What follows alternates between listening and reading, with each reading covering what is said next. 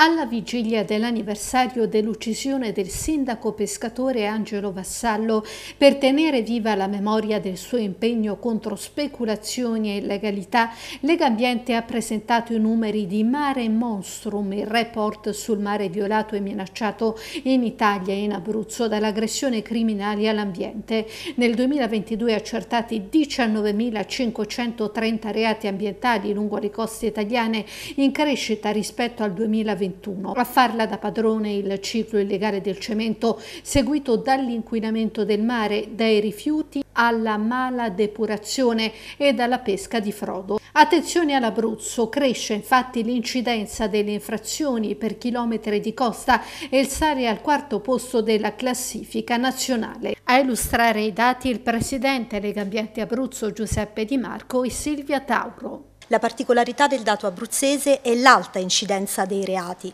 perché laddove quindi il valore assoluto ci pone a metà classifica rispetto ai valori nazionali, l'incidenza dei reati ci dice che invece l'Abruzzo ha una concentrazione di illegalità diffusa e capillare che lo mette al quarto posto nella classifica, con un'incidenza quindi che l'avvicina pericolosamente a quella delle regioni a tradizionale infiltrazione mafiosa. Quali sono i reati più diffusi? I reati più diffusi restano quelli legati al ciclo del cemento, quindi abusivismo, cave illegali, occupazione abusiva del demanio marittimo. Lega Ambiente fa al governo Meloni otto proposte per tutelare in maniera più efficace lo straordinario patrimonio ambientale dei nostri mari e delle nostre coste, dalle demolizioni affidate ai prefetti delle case abusive e agli investimenti sui depuratori fino alla lotta alla pesca illegale. Quello che Lega Ambiente propone, soprattutto quindi per rispondere ad esempio ai reati del ciclo del cemento, è la possibilità quindi normativa di abbattere le opere abusive ad opera dei prefetti, laddove dei comuni emettano quindi le ordinanze di abbattimento ma poi non provvedano.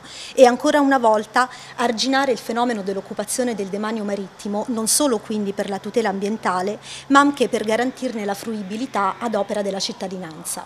Per quanto riguarda invece ovviamente il ciclo dei rifiuti, quindi una corretta gestione e l'integrazione con il ciclo idrico permette di risolvere i problemi di inquinamento e di intervenire normativamente per arginare quindi tutti i fenomeni legati all'illegalità della pesca.